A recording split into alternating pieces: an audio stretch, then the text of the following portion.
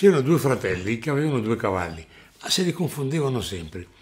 Allora un giorno uno diceva, ma gli taglio la criniera così...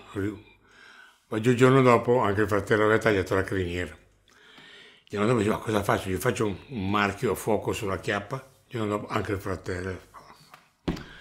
Boh, vabbè, tagliamogli la coda. Poi il giorno dopo anche il fratello aveva tagliato la coda. A un certo punto chiama il fratello e fa, senti, facciamo una cosa. Tu tieni quello bianco, io tengo quello nero e non se ne parla più.